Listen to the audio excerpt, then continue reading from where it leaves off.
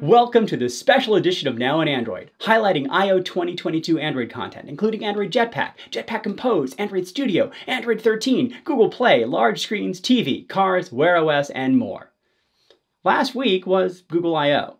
The developer keynote and the What's New in Android talk have all of the I.O. Android developer announcements. Also, the Android Fireside Chat is back. Android leaders answered your questions from the stage.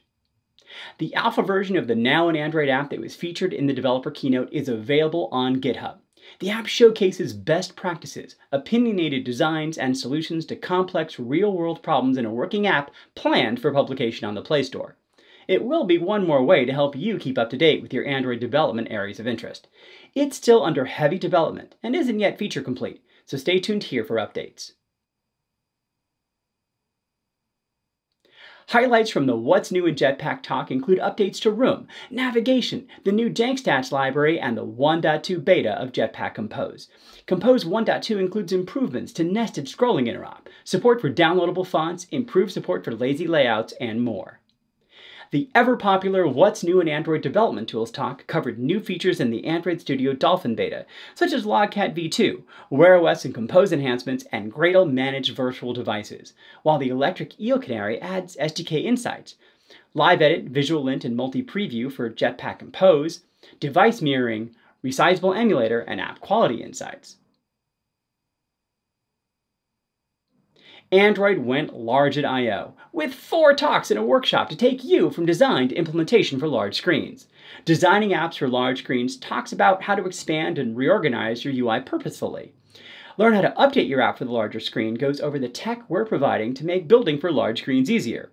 Implementing Android apps for all screen sizes explores development best practices with an emphasis on Jetpack Compose, navigation, managing state, and testing. Input for all screens includes best practices to support input methods like keyboard, mouse, and stylus. Finally, the Building an Adaptive Layout with Sliding Pane Layout workshop teaches adding a list and detail layout to a hybrid Compose and View app with sliding pane layout. We released the second beta for Android 13 and announced that the Android 13 beta is available to test on a range of devices from Asus, Lenovo, Nokia, OnePlus, Oppo, Realme, Sharp, Tecno, Vivo, Xiaomi, and ZTE. Developing privacy user-centric apps covers new Android 13 features, such as the notification runtime permission, the permission-free photo picker, and APIs to revoke permissions. We also had two talks covering the preview of Android's privacy sandbox.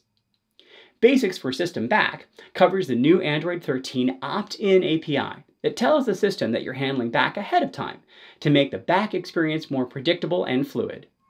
Best Practices for Running Background Work on Android explores how background work is changing in Android 13. What's New in Android Machine Learning covers updates to MLKit, the custom ML stack, and introduces the new Google Code Scanner API and Google Play services to allow your app to request barcode scans without needing camera permissions. What's New in Android Camera provides a snapshot of what we're doing in Camera X, such as support for video capture and WYSIWYG camera controls, while What's New in Android Media covers how we're handling HDR media, spatial audio support, Performance Class 13, and the work we're doing in Exoplayer, Jetpack Media 3, and the new Jetpack Core Performance Library. What's New in Android Accessibility covers the updates we're making to Android around accessibility, while the What's New in Accessibility for Developers talk details how you can improve the usability of your app for everyone, covering both Jetpack Composes and Android Studio's accessibility features. What's New in App Performance covers using Android Studio, Perfetto, Android Vitals, and Macro Benchmark to help understand performance, along with using baseline profiles to improve app startup speed and reduce janky frames. It details the updated unbundled art runtime in Android 12 Plus, which includes performance and OpenJDK API updates. Finally, introducing Google Wallet and Developer API features details how you can use the Google Wallet API to digitize tickets, loyalty cards, and much more, evolving the previous Google Pay Passes API. Android lets you build for phones, TVs, watches, cars, and smart speakers, and we want to create an experience that works better together. Android solutions for seamless sign-in across devices allows users to easily work across multiple types of devices, while the Build Powerful Multi-Device Experiences talk covers a new library that leverages ultra-wideband BLE and Wi-Fi to enable multi-device experiences.